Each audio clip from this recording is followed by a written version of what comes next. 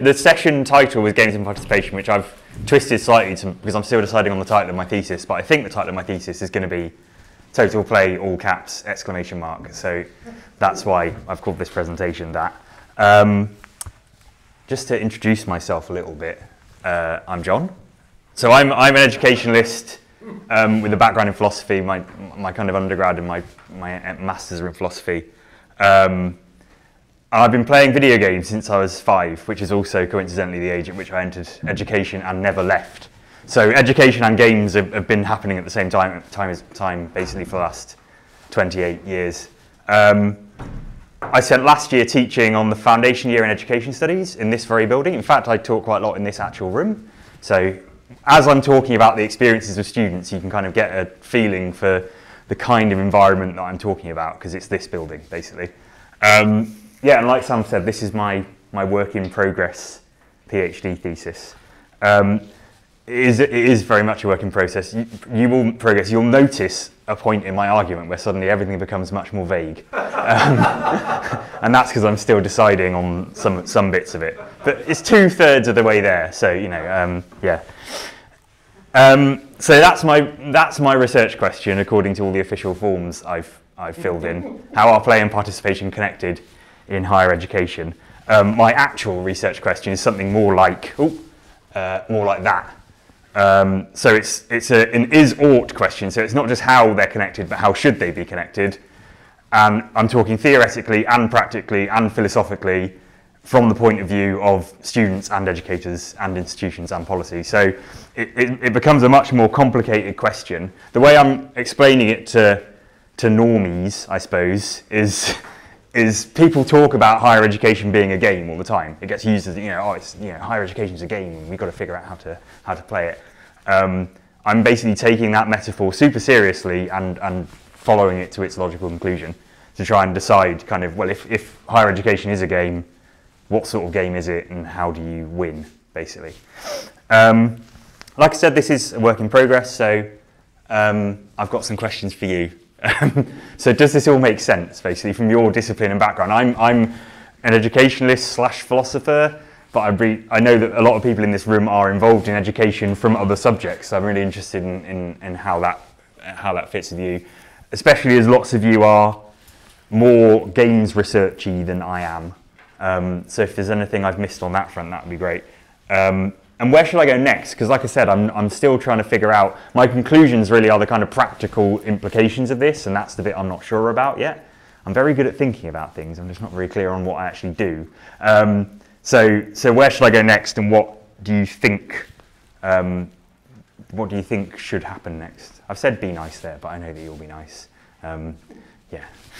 Um, so, I'm, this is going to follow the structure of my thesis to a large extent, so I apologise that I kind of have to do. I'm playing the game of the thesis by you know by demonstrating. So the first thing you have to start with is literature review, um, and the way I'm framing my literature review is in terms of the two ideas that I've got: participation and games slash play. Um, and the literature reveals that participation is generally seen as a problem, an educational problem. And the, the kind of way that you can understand that is by looking at the, the related idea of widening participation. So widening participation is the question of the social composition of universities, who participates in university. And as a social justice question, it's, it's all about kind of widening participation. So, so encouraging those who wouldn't traditionally participate in university to participate. How do we do that? What is the, what is the point of doing that? Um, and what, what you end up with is a set of policies and practices. So you've got sort of big policy documents like that, like from um, Hefke, which doesn't even exist anymore, and the Office for Students that kind of give give orders to universities and other other higher education institutions to say this is what you're expected to do to widen participation and make university a a, a, a more socially diverse place. Um, and that's been, a, that's been, since universities have existed, that's been an issue, but it's become more of an issue since kind of the 1990s onwards as universities have become sort of more um, driven by kind of market forces, I suppose. Um, there's been a bit more of a, a, shift more recently for it to be less, just as much as it's a question of who's participating in university, who gets in, it also then becomes, and do those underrepresented groups get as good grades as other groups. So, so you look at the input going coming into university, and nowadays there's also a focus. The latest policy document from OFS is around how do you make sure that your your less traditional students are still getting good grades at the end. Um, there are other critical approaches. So Louise Archer and, and others write about widening participation kind of critically talking about how actually a lot of the time when we when we have widening participation policy what we're doing is we're, we're viewing those students as a problem so this is kind of come back comes back to that again the, the idea that we're we're we're saying you as as prospective students do not fit our ideal and the job of widening participation policy is to make you more like our ideal student make you more like the middle class kids who, who normally apply to university and get in and get good grades. Um, and, and some critical approaches, like those kind of uh, pr proposed by Archer, take, a, take an approach that's more around how you, how you engage those students on their own terms, and it, become, it becomes less of a process of changing them and more of a process of changing the university in response to them. To kind of swerve, you can, if that's a problem, then games are traditionally seen as something of a solution. And the way you see that is in games and play-based learning. So there's tons of books written about games and their use in education, and it's always about here's what games are useful for in education. So games, according to Gee, are good for building affinity spaces, which allow kind of people to you know, engage in a social process of learning. Um, ba Sasha Barab and others have written about constructing video games that are virtual worlds, simulations of things that couldn't exist in the real world. Um, you've got my supervisor, Nick Whitton, who talks about um, games as a good way of, of, having kind of a safe space to fail. But the, but the upshot is that often um, that games are used for a specific purpose. Um, and often that is tied to kind of a very technological view of what games are. So, so games, as much as games have been around for thousands of years since the ancient Egyptian board game Senet, um, there's a there's a kind of uh, a, a, link between games and technology. Often it's the technologists who are introducing games into education, and they're not necessarily video games. They might be might be analog games, but it's the technology that's driving that process. Um, even the kind of more playful approaches, so the, the, approaches that don't use games necessarily but take a kind of playful approach, like what Nick's doing nowadays, um, are often about the skills and the social processes of play. Play, play increases creativity, play increases engagement, that kind of thing. So, so given both of those, the obvious thing to do would be to say, well, okay, if participation is a problem and games are a solution, why don't we try using games to solve the problem of, of, of widening participation? And that hasn't really been done, and that was kind of my, oh, I think I might have, have a go at that. That was my RD1, here is what I proposed to do on my PhD at the beginning. But I haven't done that. Um, because I got caught up in this idea of, of the, the logic of problems and solutions. So neoliberalism in HE, neoliberalism is this kind of, the, the idea that economic principles of the market are driving public institutions um, in order to increase kind of personal freedom and efficiency and that kind of thing, um, means, means that everything in education is seen as a problem or a solution. Um, and there's a, that, that's kind of one, the only way often that people, people think um, about these things. So, so I was thinking about, you know, that phrase, whenever you, if you've only got a hammer, then everything looks like a nail.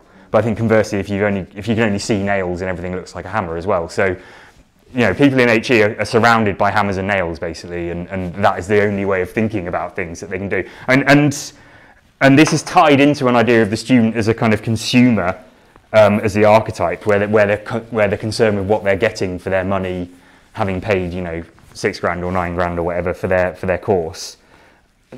University, even if they don't actually act like that, so Richard Budd has actually done some research to find out that students don't really behave like cons consumers, but as long as institutions treat them like they behave like consumers, and this, this logic of problems and solutions um, remains.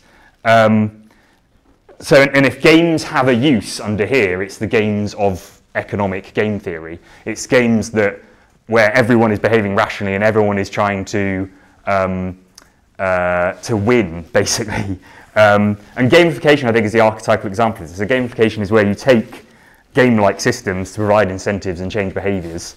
Um, Chris Bateman calls it the workification of games. So it's using games in work contexts in order to sort of drive the kind of let's solve problems, let's let's improve outcomes kind of thing. Um, John Ferrara, Ferrara, I think his name is, um, says that this is basically strip mining games. It's taking all the useful things out of games and ignoring the fun stuff, which is quite a kind of cynical way of looking at it. So one, as soon as I kind of got into this, I started to think, well, how can you actually change um, how can you move away from this logic of problems and solutions and think about participation's play, participation play as they're actually experienced rather than as this kind of theoretical toolkit to be used? Um, so I went away and started thinking about them separately. So in, part, in, terms of participation, there are loads of related ideas like engagement and inclusion and transition, and all these things are, are still read in similar terms as a problem that needs to be solved. Um, but if you start looking at participation outside of formal education, start looking at people like Lave and Wenger or Kolb or, or even sort of critical pedagogy from Freire, you, you get this idea that that learning exists beyond beyond the institution and beyond the kind of the levers that the institution is using.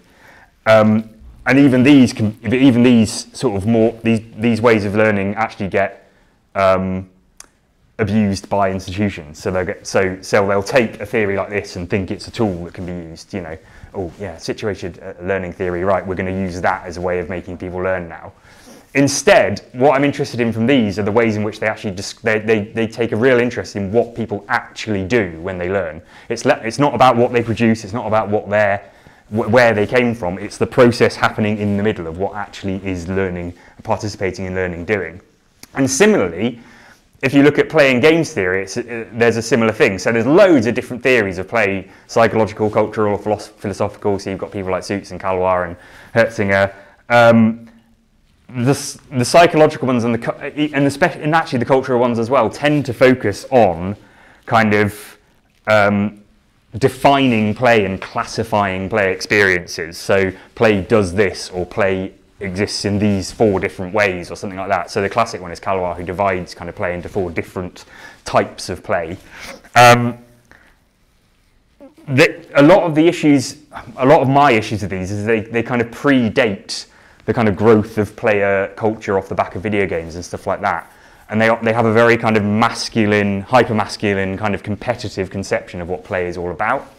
Um, even Suits, who I kind of tend towards is a little bit like that. They write about sport a lot. They write about um, they write about chess, chess and sport, and the two things that they're they're sort of constantly thinking about. And that's quite a broad stroke, and there is a lot of nuance there. But but I, I'm often I'm often thinking, well, what what would they say about I don't know Fortnite? What would they say about um, uh, you know kind of a, a, the sort of popular video games nowadays?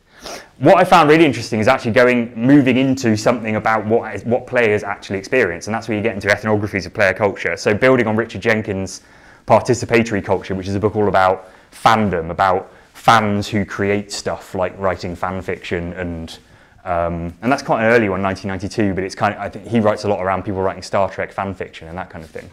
But then off the back of that, lots of people like Celia Pearce and T.L. Taylor have written ethnographies of the culture within video games. So, so Celia Pearce writes about um, MMORPGs, these mass multiplayer online games, and, and, the communities that are built within that. And she re- looks really seriously at, from the inside as a player, what actually happens in those communities. T.L. Taylor writes about um, the auxiliary tools that occur beyond playing a game, so writing the guides and the wikis and taking part in the kind of Tumblr culture and all that sort of stuff. Um, and I got really interested in what happens if you take that sort of approach to education? What, what if you look at all the things that are happening around education in the same way?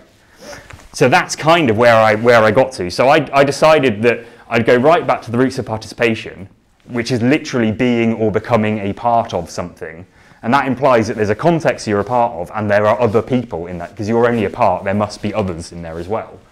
And so I've kind of got this situated idea of participation that's wider than, than, what, what, than what widening participation would, would include. Because widening participation just seems to be are you at university or not? And have you passed or not? This is you're at university, what are you actually doing? What are you actually taking part in? Um, and the similar thing with play, I think play is basically a mode of situated participation. It's a way of participating in things. So I'm drawing upon the kind of more critical views of uh, Miguel Sicart, even Bernie de Koven, um, which is that they understand play as the relationship between players and the rules. And the, the important thing is that the players are the important part of that. They're the ones who establish the rules in the first place. They're the ones who decide what the rules are, are covering. I actually ended up going down the route of Thomas Malaby, who has a kind of philosophical version of what De Koven's. So De Koven's all about how do players change the game, how do players um, enact kind of changes in the rules by cooperating with each other even when they're meant to be competing and that kind of thing. Um, Thomas Malaby describes games as processual rather than artifactual. So games aren't a thing, they're a process. Um, he actually describes them as semi-bounded, socially legitimate domain of contrived contingency. And I really like this idea of contrived contingency, that, that we've all kind of agreed that we're, we're, in, we're engaging in a process that kind of depends on each other, but it's kind of a social, a social process what I end up thinking really about is rather than just thinking about play or games, I'm thinking about the idea of game play. That is play within a set of rules that could be described as a game. Like I said, if we're talking about higher education as a game, that you know this metaphor of the game, then what's the gameplay like there?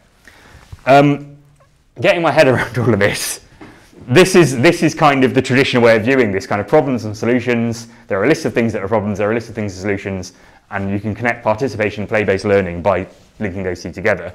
Um, that's what I've actually done, um, which is just kind of look at the concepts and all the things they're connected to and try and make a kind of weird route around the edges rather than across the middle. The way I kind of saw that is this is the map. This is really bad, bad resolution, but this is the only I can find. This is the, this is the map from Assassin's Creed Unity, which came out in 2014, which is a bad game. Um, and it's the map is covered in activities for you to do, and the plot of the game wants you to go from this activity to this activity, and that is, you know, but actually they've given you so much to do, and it's such a mess of symbols, and you don't really know what you're doing that you end up just sort of running these loops around Paris, desperately trying to find something fun to do. And that's kind of how I approached writing my literature review.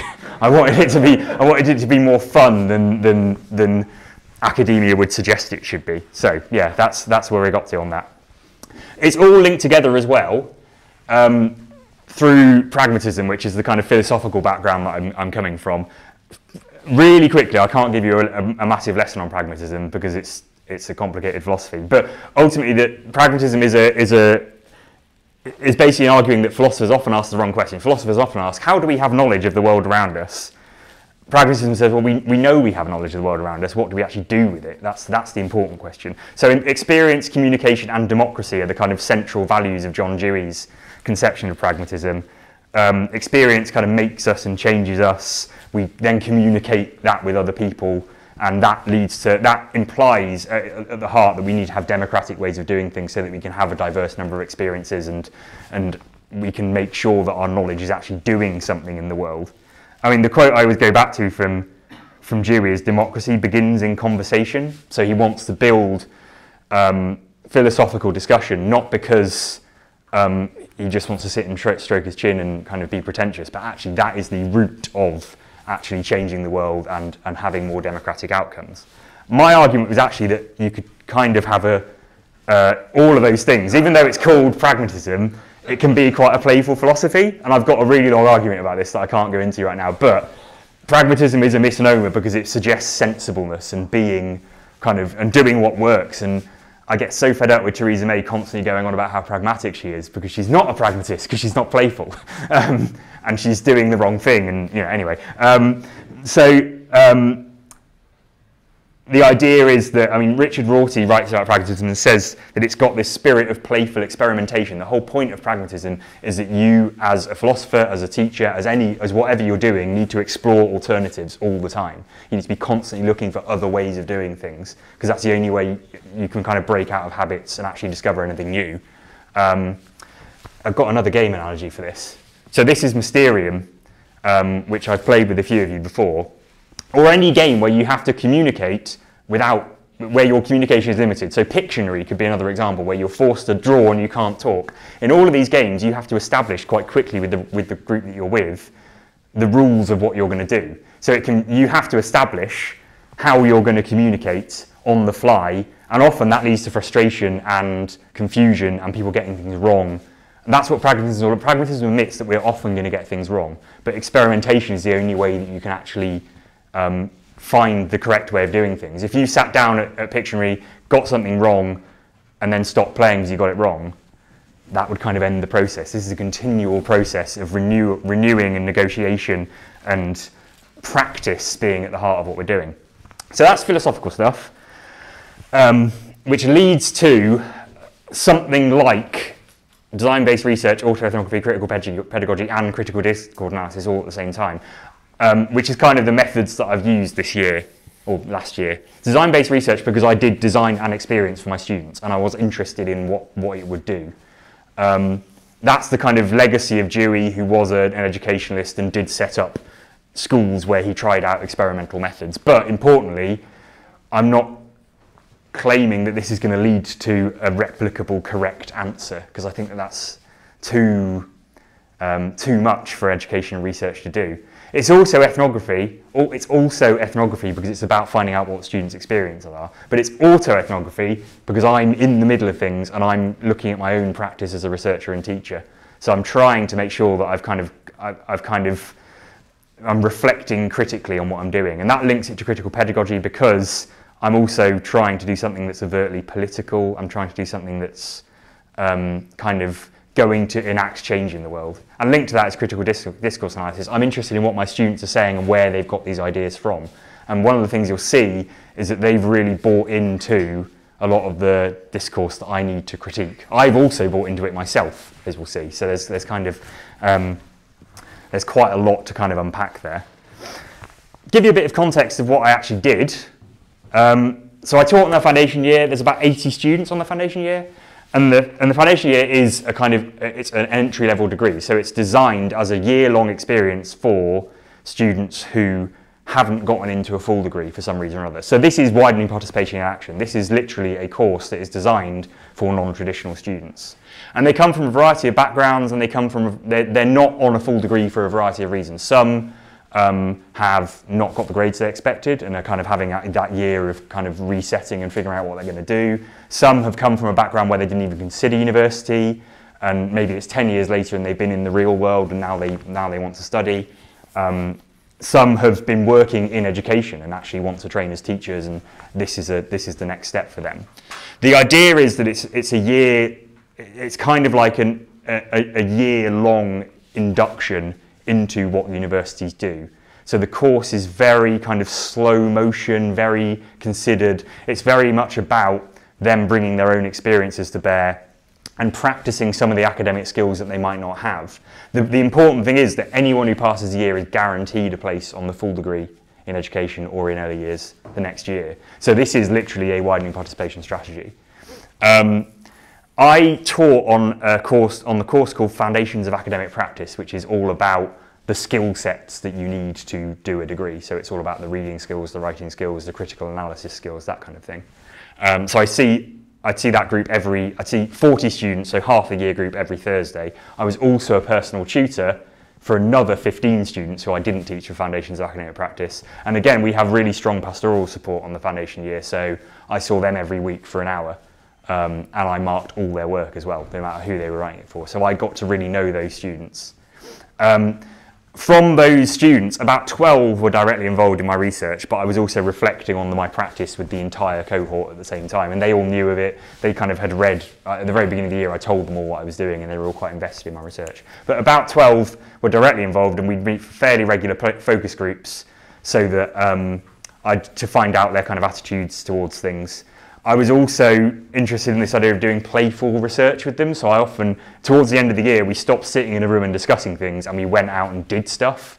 So I'd say, you know, go out and um, find out as much as you can about how people get in and out of the building or something like that. And that actually, and that, that raised a lot of questions for them. They were kind of being active participants for anyone who came into this building knows that those front doors are permanently broken and it becomes a big access issue because you can never actually get into the building. And that became a big discussion for us, and we, that, le that led into conversations about how you got into university, that kind of thing. Um, I also used to just bring in dice and we'd throw dice around to decide what questions we're going to ask. Like trying to loosen up and trying to get a bit more play in there. Um, I call that opportunism because in the end, actually, the focus groups went out the window and it was literally oh, have you got five minutes? Let's have a discussion now about that. What that thing that you just raised in discussion, I think would be really interesting. So we can. So it became kind of a lot of ad hoc conversations, a lot of capturing things that they said in sessions and that kind of thing. Um, I should say that a lot of this playful stuff then fed back into the teaching. So towards the end of the year, I was teaching with the same sort of methods. We were doing a lot of um, using games in the classroom and that kind of thing, which was part of my original design. But um, I found that, um, well, you'll see that I found that different students reacted to that in different ways, and it became a little bit more nuanced than just just using games in the classroom. The way I read all that is through two conceptual models at the same time. so, so I was you, from the kind of participation end of things, I went back to and Wenger and their idea of legitimate peripheral participation. So they're writing about informal learning in kind of real world contexts. And they are, their argument is that learning occurs through increased participation in a community of practice. Um, how do I, as a newcomer to, that, to one of those communities, become kind of inculcated in the, in the, the formal and informal ways of doing things in that group? Um, and that, their argument is it's all about logistics, so it's working on the edges of that, of that community and gradually working your way towards some sort of centre. That being legitimate because you're often taken under the wing of someone who, has more experience. Um, the other um, model is the magic circle, which comes from Johann Huizinga and is then picked up by Salen and Zimmerman and kind of popularised by Salen and Zimmerman, Zimmerman in the 21st century. Um, the magic circle is, is, is kind of a, a similar model but it applies to play. So Huizinga briefly, literally in a paragraph in one of one of his books, mentions this concept of the magic circle. Um, it's a playground marked off either material, materially or ideally, deliberately or as a matter of course. So the idea that play occurs within a, a sort of sacred space that's safe from the rest of the world. Um, lots of people read that as kind of this sort of very impermeable kind of solid circle. I'm more interested in it as an, as an idea that there is definitely a difference between playing and not playing, and there's a kind of weird, vague boundary between the two. Um, and that's kind of where I got into because I realised that what these two models have in common is that they're both about rules. So, what are the rules of the game we're playing, if it's a metaphorical game or, or if, even if it's a real game? Um, what does the circle look like? So who is in the circle? What does it encompass? What sort of things do I do to get nearer to the centre of that circle? How do I stay on the edge of that circle? Where do the edges overlap with other circles as well? So one of the things that I'm interested in is how participation in one thing affects participation in another thing. And you'll see that with some of the things that students say that often you can't just be at university, you're, you're doing lots of other things as well. And I'm also interested in the idea of magic where does the inexplicable stuff happen? Like learning is a really complicated, messy process that sometimes things just can't be explained. Sometimes things are just kind of magic and they just happen. Um, and I'm interested in capturing when students, especially, kind of see magic happening in what they're doing. So I've got three kind of bits of results on this. The first bit is about what the students said, um, which requires a little bit of introduction. I got interested in the idea of play styles. So play styles came, came come across from Richard Bartle, who writes this um, idea of um, that there are different ways of playing a game. And he's writing about very early multiplayer computer games called multi-user dungeons. And he has four different play styles called socializers, explorers, um, achievers, I think, and killers. And, and they all do different things. So socializers like to play with other people.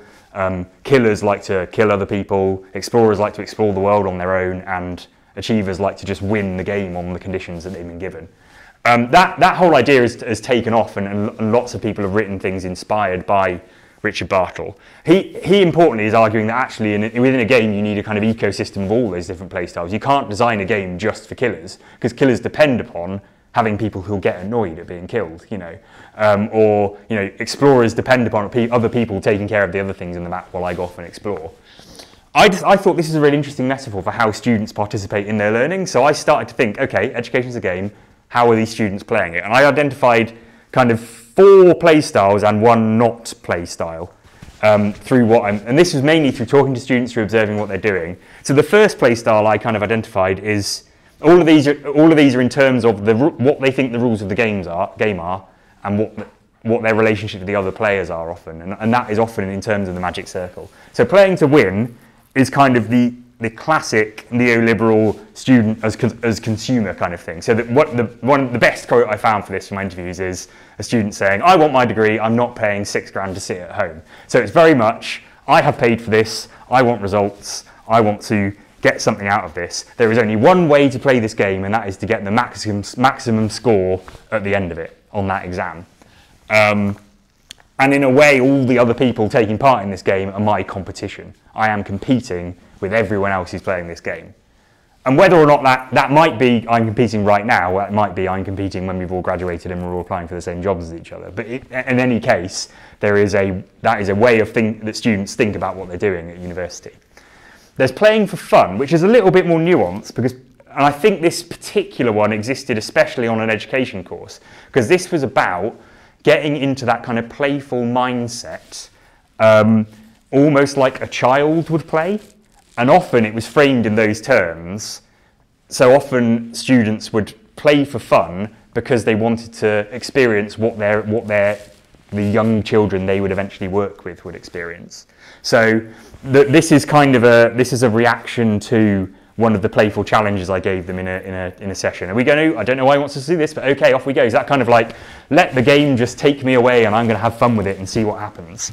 Um, this really came across in those students who'd lived in the real world and who were more mature and who maybe had families outside. That university became an escape for them. It was, it was, a, it was a, a circle away from the real world. Um, and and often they were more into this this play style is more cooperative. It's more about learning from others and being part of a community. One of my students kept talking about how great the community was and how she, how safe she felt in this community. And that really came across to me that it was it was like being in a kind of primary school classroom where everyone's kind of free playing you know that kind of idea. Um, the next one's called playing the game which is kind of similar to playing for fun but it's a bit more cynical the quote there, it is what it is, was literally the catchphrase of one of my students. He, he would say, oh, it is what it is all the time. And this idea that he kind of understood critically that sometimes things weren't perfect and sometimes, you know, I don't really know what I'm doing this, I don't really want to do it, but it is what it is, you know. Um, it was an opportunity, and, and often it, playing the game involved bringing in your own identities. And so, so these students really excelled at kind of reflective tasks where they had to talk about their previous learning. They really got, oh, I know how to turn previous learning into something within the game. I can, I can use this. Um, they begin to kind of negotiate with the rule systems. They begin to see how powerful they are as players. So the one, I, the one example I've got is that we have a really stupid attendance system here um, that is far too you, from the outside, it just looks like it makes very illogical decisions about which students it's going to contact about their attendance. And so I had students who were very, very good attenders who missed one session and suddenly were getting bombarded with emails saying, you haven't attended this session. And the way in which they responded to that was often to just suddenly click and think, oh, actually, I'm, I'm going to ignore that. That is a rule that I don't have to follow. That is a rule that doesn't matter because as long as I'm getting what I want out of this, as long as I'm playing the game on my terms, maybe I don't have to worry about disobeying that rule and breaking that rule. So it, it, kind of became for them a kind of way of empowering themselves. And that kind of starts to bleed into what I call counterplay, which is where you literally ignore the rules of the game. And you literally, as close as you can get to cheat in education. And cheating is quite difficult in education because obviously, you know, all these things are against the rules, but it's about starting to bend the rules. So does being in education kind of make you want to break the rules because you're so confined? I don't know. More often than not, students talk about bending rather than breaking rules. But it's kind of playing against the rules, pushing against the system, that kind of typical kind of critical approach um, to, to learning so that you're, you're kind of constantly, you can kind of, as an edu- experienced educations, you can tell when someone's counterplaying because they're probably sat at the back grinning at something. They're probably like, and you think, why are you grinning like that? What are you thinking? You know, it's that kind of approach. So they, they kind of know, they've kind of figured out what they're doing, you know often this was more hypothetical than not. And I should say actually that playing to win was often more hypothetical than not as well. Not many students actually did play to win. As much as they talked about playing to win, when you actually looked at their behaviour, it was much more in the middle. Um, but when we got into discussions about cheating, you would not believe the things that my students said they could do if they wanted to cheat. They came up with some amazing strategies for cheating, but didn't actually do them.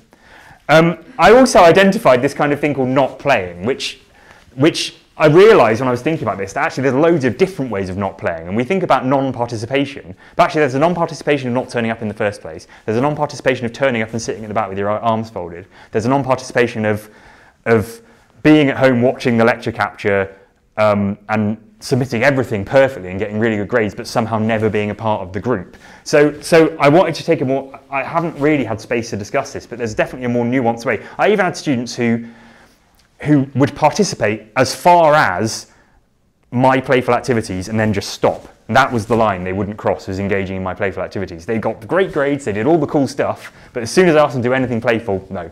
Even they would engage in the research and like get really involved in my research project, but then just not do the playful bit of the research because that was their limit. That was what they didn't want to do. Um, and I find that really interesting because it because often we can be quite monolithic about that, that, that person is not participating, but actually there's loads of different ways of thinking about it. Um, I should say, there isn't, th these aren't like classifications of students, these are classifications of behaviour. So this one and this one, that's the same student in the same discussion saying those two different things. So, so often it was students switching between different play styles and, and saying things that seemed inconsistent, but actually um, so this is, a, um, this is an example of one student's entire kind of, you know, this is a whole paragraph that they had in, in a bit of written, um, written feedback. I think university is like a game because when the end goal is to get the degree, which seems like playing to win. That's when you win. I guess with university, and, and like during the game, you can either do it yourself or you can work with other people, so that's starting to turn into playing for fun by encouraging them and build them up. I don't think anyone in this game are trying to bring people down and hinder them from getting a degree. That's thinking about the possibility of counterplay, even if you're not doing it yourself. I mean, I don't see that happen. We're all trying to build each other up or just do it by ourselves. So then switching back to playing to win at the end to reach the same, same end goal. Um, there's so, so it was quite nuanced the way students actually discuss this stuff.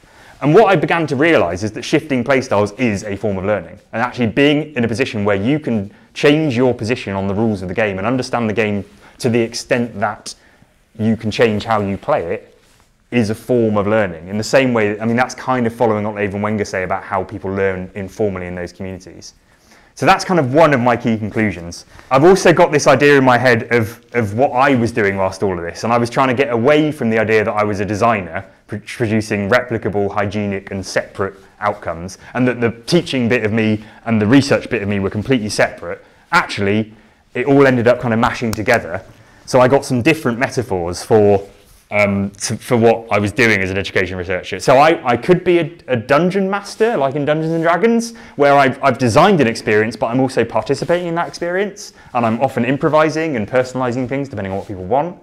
If I am playing a game, then maybe, like with Assassin's Creed Unity, I'm playing a bad open world game where I have to go out of my way to find the fun, and actually the best way of playing the game is to break it. And this is this really spoke to me as someone who's inherited a load of institutional ways of doing things that you have to kind of fight against to some extent if you actually want to be a good educator. Or maybe I'm just a fan. Maybe, maybe I'm not really doing anything. Maybe I'm playing vicariously through my students. They're the ones doing the playing the game, and I am supporting them, I'm cheering them on, I'm critiquing them. Maybe my thesis is kind of an elaborate work of fan fiction about my students, I don't know, but, but there's like, there's, there's a load of different metaphors there. So I was trying to find a way of tying all these metaphors together. And that's where we get to social football. And that's when we get to our title. So this is the, this is the, the final verse of, of, a, of a song by Parquet Courts, which came out last year. Uh, solving parts and roles is not acting, but rather emancipation from expectation. Collectivism and autonomy are not mutually exclusive. Those who find discomfort in your goals of liberation will be issued no apology, and fuck Tom Brady. Um, Tom Brady being the quarterback for the New England Patriots. There's, a, there's an interview um, with the lead singer of, of Parquet Courts who says about Tom Brady. Um, there's Tom Brady, the player, which is unpopular because he plays for the New England Patriots, which is a powerhouse team. But then there's Tom Brady, the symbol, which is what I'm talking about, the lone wolf alpha male quarterback idea of a traditional independent American masculinity that we're all rejecting in that song. It's Tom Brady, the concept. Every sport has their Tom Brady. Every civilization has their Tom Brady. I wanted to, and this, this kind of really spoke to me because I was thinking about a way of combining the political stuff I've already been thinking about, participation, the kind of game stuff, the fact that I just like punk music as well, you know, so it all kind of come, came together. So I started reading up about total football. And total football was a, was a strategy utilized in, especially by the Dutch national team, but also quite by quite a lot of teams in the 1970s. Basically, it's about position switching. So it's about the idea that any outfield player can play in any other position. Um, so it's constantly moving, constantly flexible, constantly reacting to things. But it's also a kind of collective um, strategy because it, it, it, depends on if I vacate a position, then another player comes in and takes my place. So everyone is kind of fluidly moving around each other. It's called total because it kind of totalizes the team and everyone on the team is doing the same job. But I mean, if there's a book by David Winner called Clock, uh, Brilliant Orange, sorry, which is absolutely fantastic. He argues that it's a product of Dutch politics of the 1960s and 70s. The political climate in Holland was such that everything was total, everything was about everything else. So this is where that kind of idea of the overarching metaphor comes in for me because total football is actually a really good metaphor for, for lots of other things that aren't total football. It was democratic, literally democratic. They ran the teams as democracies. Everyone got a vote, you know, on who the captain was going to be. Um, it was also really inconsistent. So it was it produced absolutely brilliant football, and then Holland lost the 1974 World Cup final against a team that, that was playing regular old football against West Germany. So, and lots of people argued it was accidental. No one really knows who invented it. No one really knows um, where it came from people have taken it and tried to use it as a strategy and it has worked, but it's kind of lost the spirit of, of, of total football. I got thinking about this, and that's what led me to the idea of total play, which is this is the vague bit that I'm writing up at the moment. So, how do we do position switching in education? Um, I'm interested in sort of play with a purpose, but not a purpose that's an instrumental neoliberal purpose. Um, but position switching is kind of that kind of democratic exercise in participation, emancipation from expectation, as parquet courts would call it, of allowing students to play in whichever way they, they want to play or feel that they should play. Um, it's perfectly valid to want to win the game in conventional terms, but it's also perfectly valid to want to do something else. Um, as long as you have a critical understanding of why you're doing that and, and how you're doing that. And also position switching comes in in that maybe I want to learn from the students. And maybe the students are the experts in something. Maybe I need to step back and let them take over from me sometimes. Um, it's total in that it affects everyone in the context and, every, and all the other things that they encounter. So all the magic circles that you're a part of start to overlap. It isn't just about you being in university and university being a separate thing. Maybe your work in university affects what's happening in your job. Maybe my work as a researcher is affecting my teaching practice. It should be, but sometimes, you know, that's frowned upon weirdly. Um, maybe, um, maybe the kind of uh, the work that the university does is impacting the local community in different ways. That's, that's the kind of idea. It's also inconsistent in that we have to, if it, we're going to have to come up with different ways of thinking about success in education. Um, and that's the really uncomfortable bit, or at least being critical of approaches. So, what is it to win education? The neoliberal way of thinking about it is that you get the highest grades and the highest paid job when you leave. But there's so much more to explore, and, and that's and a more democratic way of thinking about education is to, is to think about well, what, what happens if we start to redefine success and start to think differently about um, the game that we're playing. This kind of all leads me to think this is the bit that I'm really struggling to get my head around at the moment that at some point total play stops being a metaphor so all this, all the way through, we've been thinking about games as ah, university is like a game. That's a really apt metaphor to describe what we're doing. But actually, this isn't a metaphor. This is this is what's really happening, um, or what we really want to happen. And if you're using games as a metaphor for university, you're at a disconnect from reality to the extent that you can kind of stop changing the game. It becomes like, oh, it's just a game, isn't it? Ha ha. ha. And then so let's not bother changing it. You know. Whereas if we're not, if, if university literally is a game, when we become far more empowered as players to change it and to do, do the total thing. Um, and that's pragmatism in action, actually. That's ultimately what pragmatism is all about. It's, it's about communicating with other people, encouraging them to participate, and through communication and participation, reality literally changes. That is the extent, you know, it's an epistemological change. Um, so I've said here, calling something a game makes it one, and as soon as we acknowledge that the game is real rather than just metaphorical, then we can actually change it through participating. That's kind of one of my, one of my big claims. Um, conclusions. I, I, don't really know. I've got, I realise this argument is really paradoxical, and I've said things that don't. So I've talked about metaphors that aren't metaphors, and that play that isn't play, and play is being serious and silly at the same time. And also, I know that there's nothing more frustrating to other players than insisting you weren't trying to win in the first place. Um, and I realise that that is kind of what I'm starting to do in my conclusion. But I think there might be some practical applications, and you can kind of take your choice depending on whether you're into game-based learning or, and I don't know who I'm writing for yet, so I'm kind of stuck on this. But from a game-based learning perspective, I think it means designing games that can be played totally. It means anticipating that people are going to break the games that you play and that the breaking itself is a fun way of learning and then maybe we need to actually design games that can be broken. Um, from a participation perspective, which is a much bigger question, um, it's about rebuilding a kind of democratic relationship with success criteria and, and what the rules of the game are, and trying to think about the different ways that everyone can participate in different ways, and also what we as educators are learning while we're, while we're doing that. So we're not the experts anymore. How do we interrogate some of our kind of academic ideals so that we're not kind of just trying to be Socrates all the time? Um, yeah. I'm still thinking about that, obviously. But I did. I definitely know that one of the things I've learned is that university is the real world. It's not separate. It has to be the real world. But games are also the real world. So you know, games aren't separate. University's not separate. It's all just a big mess, and it's about what we do with that mess, I guess. Yeah. Okay, I'm done.